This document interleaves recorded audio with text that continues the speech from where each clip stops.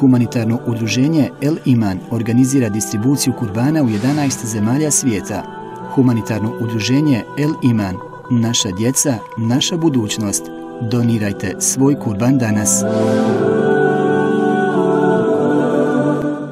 Možete li da zamislite i shvatite da je Srebrenica tema karikaturista? Najbolji svjetski karikaturisti baš iz cijeloga svijeta dan danas Srebrenicu ne zaboravljaju a ništa to nije smiješno. Pamte nečasno ponašanje svijeta, takozvanih mirovnih trupa, ismijavaju kukavice, licemjere u uniformi, u odijelu, u kravati, dakle i političare. Udar na savjest čovječanstva.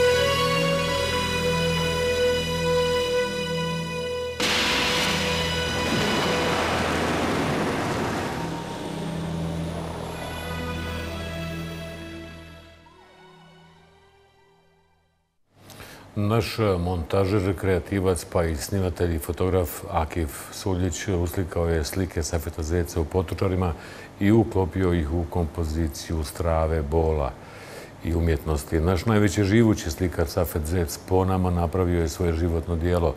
Izloženo je u potočarima. Portreti užasa, momenti patnje, dostojanstva. Safet Zec je izbjeglica iz onoga rata koliko je djece izbjeglica iz onog i ovog rata ipak uspjelo u životu. Mnogo. Postali su vrhunski, svjetski. Život je u stvari proživljavanje djetinstva. Djeca, izbjeglice, svoju patnju, traumu pretvaraju u čistu umjetnost, pretvaraju u diplomu svjetskog fakulteta, pretvaraju u gol na svjetskom prvenstvu. Očevi su pobijeni, djeca su pobjedila.